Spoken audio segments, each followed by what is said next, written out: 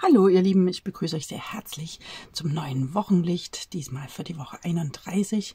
Die geht vom 31.07. bis zum 6.08. Ja, lasst uns mal hineinschauen in die Energien für diese Woche.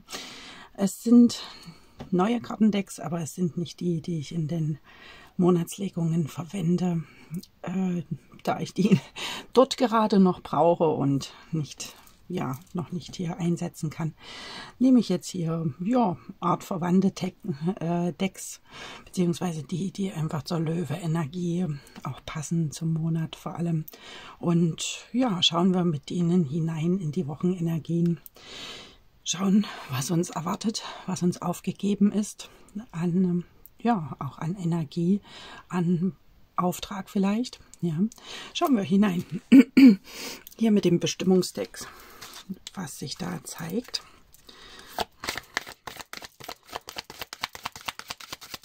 Welche Botschaft möchte hier heraus?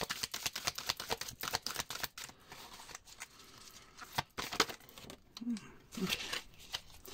Ja, wir haben diese Woche das vielleicht noch mal mit dazu. Doch auch einige interessante Energie. Wir haben ja gleich am Dienstag ähm, den Vollmond, Vollmond im Wassermann. Das bringt interessante Energie, ja, vielleicht so ein Stück weit befreiende Energie. Äh, eine, die ja, uns durchaus auf unseren Weg bringen kann, unsere Bestimmung. Und dann haben wir auch noch einen Portaltag am 5.8. Ja, und schauen wir mal, was sich hier jetzt zeigt für diese Zeit. Das Kind einer Priesterin ist gesegnet. Der Zugang zu den geistigen Welten liegt dir im Blut ja, ist das vielleicht eine sehr spirituelle Woche tatsächlich auch, ja. Ja, sehr mittig in der Löwe-Energiezeit und wir haben wir die 38 zusammengenommen, es ist die 11 ähm, geht es vielleicht tatsächlich auch um Selbstmeisterung, ne, um den eigenen spirituellen Weg, Spiritualität im engeren wie im weiteren Sinne, ne, also etwas, was dir ganz liegt, was dir aufgegeben ist von der göttlichen geistigen Welt. Ja, kann es ein bestimmtes Projekt sein, ne, mit Kind äh, ist ähm, ein ja, und mit dieser schwangeren Dame, die so ein bisschen an die Herrscherin erinnert, ist natürlich durchaus äh, angezeigt, dass wir mit etwas schwanger gehen könnten, ähm, etwas in Planung ist, etwas in Vorbereitung und ja, eben noch so ein bisschen Zeit braucht für die Reifung, bis es ja zutage treten kann, bis es ganz lebensfähig ist, ja. Aber es ist ein gesegnetes Projekt. Ne? Ein etwas, ja, was wirklich unter Schutz ist, was dir anvertraut ist, was ganz dein eigen ist, ja. Und ja, wo du einfach auch wirklich intensiven Austausch mit der göttlichen geistigen Welt hast, ja, dir das im Blut liegt. Ja, also unterschätze diesen, diese Verbindung nicht. Ja, sie nährt dich ne, in einer sehr mütterlichen Art und Weise. Ja, sie lässt dich deine Zeit einfach auch haben und ähm, nutzen und besonders gestalten. Ja, natürlich, wenn es um dein Kind geht diese Woche, ähm, auch das ist sehr geschützt und gesegnet. Vielleicht, ja, gehst du tatsächlich schwanger mit einem Kind. Ja, dann äh, sei da einfach auch wohl behütet und ja, wisse einfach, dass du unter dem Schutz gehst. Ja. Aber wie gesagt, das kann auch alles mögliche andere sein, was dir eben sehr am Herzen liegt, ja, was dir anvertraut ist. Ja, schauen wir weiter. was haben wir äh, im Lenormand? Schauen wir erstmal da.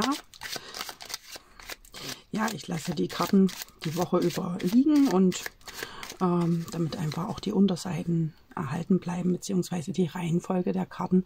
Von daher kann ich die anderen Decks noch nicht nutzen und ja, ist das auch okay so. und haben wir hier dafür einfach auch auch dafür glückliche Energie. Ja, die Sonne. Eine wunderbare, vielleicht auch sehr sonnige Woche. Das kann auch sein, tatsächlich vom Wetter her. Aber auch eine sehr glückliche, harmonische, ähm, erfolgreiche Woche. Äh, steht hier bevor, dürfen wir angehen. Vielleicht kommt auch etwas ans Licht. Ähm, ja, tatsächlich äh, erblickt vielleicht auch ein Kind das Licht der Welt oder eben kommst du mit deiner Herzenssache äh, heraus, ja, und ja auch in Erfolg. Ne? Ja, kommt auch ans Licht, ne, was da ans Licht kommen soll. Die Botschaften, bestimmte Botschaften vielleicht einfach auch ähm, im Miteinander, im, ähm, ja, von dem, was dir an Gabe mit anvertraut ist, aufgegeben ist. Ja, vielleicht ein Stück weit Heilungsenergie auch, ja, äh, dass du da auch deine Gesundheit sozusagen wieder auf Vordermann bringst. Ja wieder hier in Stärkung und Energie kommst. Ne? Ja, aber fließt auch die Energie, wie gesagt, sehr stark. Ja, also Sonne steht für wirklich sehr viel starke Energie, vielleicht auch für manches, was einleuchtet, eben was dir an Botschaft zukommt von der göttlichen geistigen Welt her. Schauen wir beim Tarot. Hier haben wir das Schutzengel-Tarot.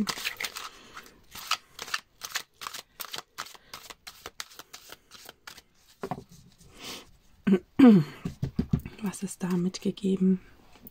Ja, sehr passend. Intuition und Einsicht mit der 18 hier, das entspricht dem Mond. Ja, deine intuitiven Fähigkeiten sind jetzt sehr akkurat.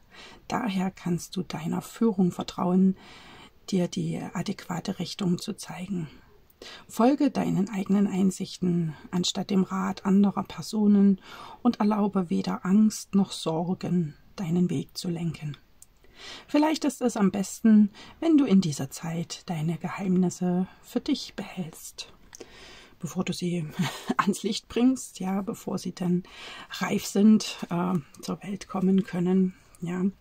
Ja, das können natürlich einfach auch äh, nicht nur Projekte sein, die du vorhast, beziehungsweise Projekte können natürlich einfach auch sein, vielleicht, ja, dass du gern Nachwuchs möchtest oder ja, dass du schwanger bist und da noch ein bisschen Vorsicht bist, vorsichtig bist, ähm, das auszuplaudern.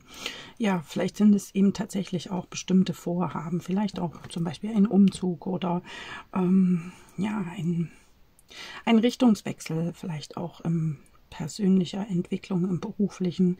Ja, du spürst, ne, du spürst es ganz deutlich, äh, wo es für dich hingeht. Ne?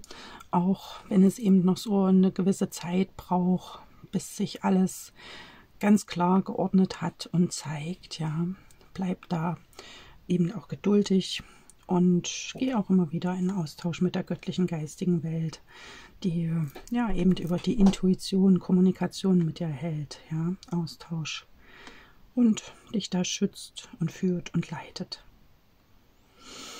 Ja, dann schauen wir noch, was haben wir hier bei den Wünschen als Impuls. Das Wunschkraft-Orakel. das ist echt so passend zueinander, oder? Magic Eggs, die magischen Eier. Beginning something is exciting. Ja, etwas zu beginnen ist spannend. Ja, da scheint Vielleicht beginnst du diese Woche einen neuen Job oder ähm, ja, wie gesagt, startest in einer neuen Lebensumgebung.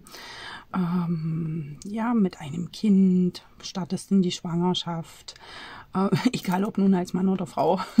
Na, es wird ja dann hoffentlich auch voneinander äh, Wissen sein, ja, um die Schwangerschaft. Aber egal, was du beginnst, ja. Vielleicht hast du dir auch etwas Bestimmtes vorgenommen, ja, etwas mehr für mehr Energie, eigene Energie zu tun und ja, vielleicht einen Sport zu beginnen oder eben ein etwas Musisches, Kreatives, ja, vielleicht auch etwas Ehrenamtliches, wie auch immer, ja. Es ist gesegnet und ja, es darf aber eben auch noch so ein ganzes Stück weit ausgebrütet werden. Ne? Äh, natürlich, es muss sich kennengelernt werden, es muss sich an den neuen Lebensumstand, neue Lebensumfeld gewöhnt werden und das braucht seine Zeit. Aber es ist geführt, geschützt und gesegnet. Das ist doch schon mal toll.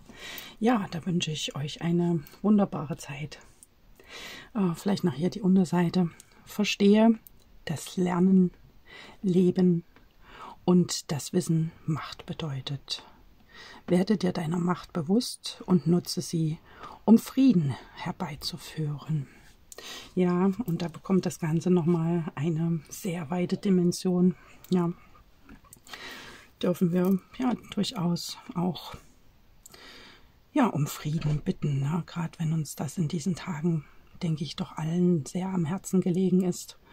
Ja, und ja, ein Stück weit Liebesenergie hinaus in die Welt schicken, ja, damit da ja einfach auch sonnigere, klarere Energie, herzlichere, wärmere Energie im Miteinander ja, sich aufbauen kann.